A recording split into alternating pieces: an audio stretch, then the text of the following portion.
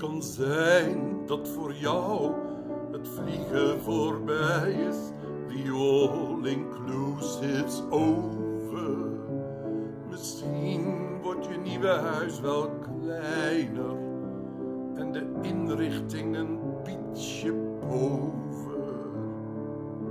Maar daar staat tegenover en die help je daar dus mee. Er zwemmen weer orka's in Vancouver Bay. Daar staat tegenover en die help je daar dus mee. Er zwemmen weer orka's in Vancouver Bay. Misschien zit wellness er financieel niet meer in. En moet jij ook je ballen maar laten. Je wilde eigenlijk ook nog een voorgeven lift, maar daar valt nu niet over te praten. Echter,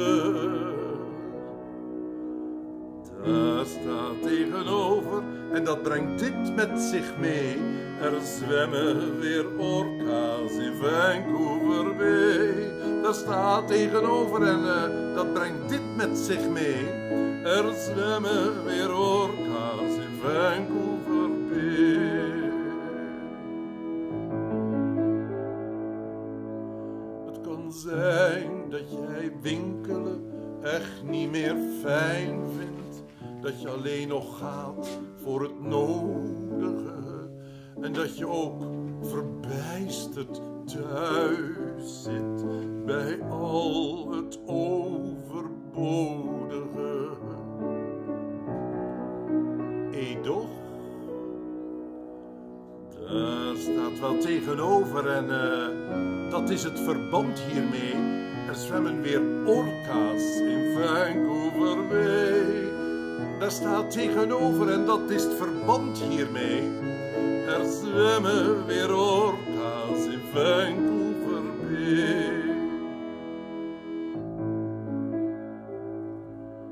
Het zou zomaar kunnen dat je eigen lockdown een blijvertje wordt met de jaren.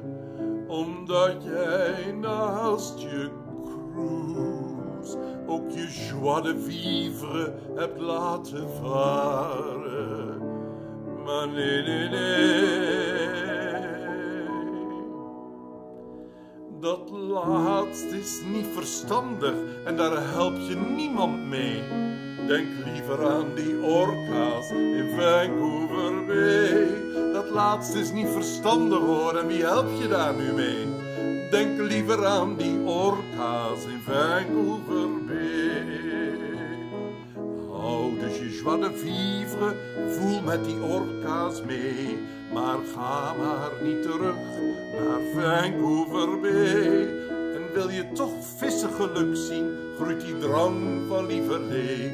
Bevrijd dan maar je eigen goudvis, het gaat per slot om het idee.